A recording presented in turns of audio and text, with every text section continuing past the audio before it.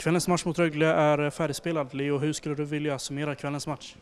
Ja, men det är för min del en rolig match, liksom första matchen, men eh, sen kanske inte var så kul med 4-0 torsk. Men det känns som att det inte speglar matchbilden och att vi kanske borde haft in några extra puckar liksom. Så då hade det kanske varit annan matchbild.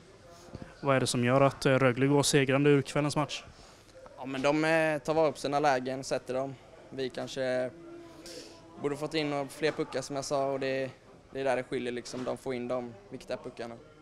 Du gör din eh, debut här ikväll. Beskriv den känslan.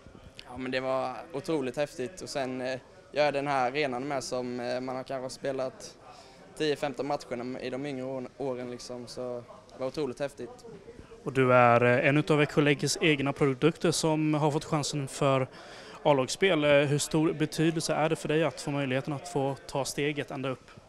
Ja, men det är skithäftigt liksom. Man, eh, man har kollat på de här grabbarna sedan fem års ålder liksom. Stått där på, i klacken i Vid Arena och nu fick man vara med och spela på isen. Så liksom, skithäftigt. Tack så mycket Leo för att du stannade till. Tack.